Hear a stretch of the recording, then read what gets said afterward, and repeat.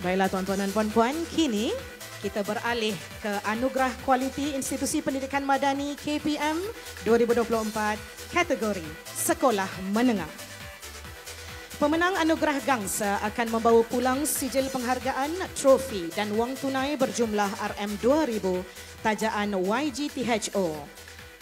Kita berikan tepukan untuk SMK Temerloh Jaya, PPD Temerloh Pahang.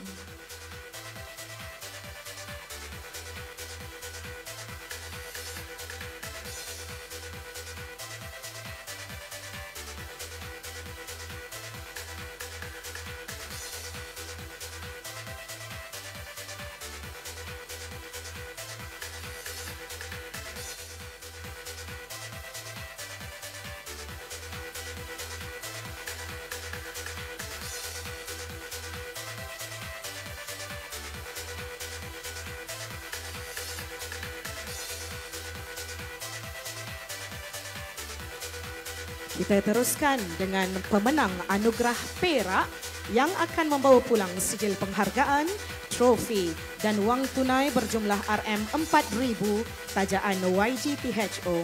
Tahniah dan syabas diucapkan kepada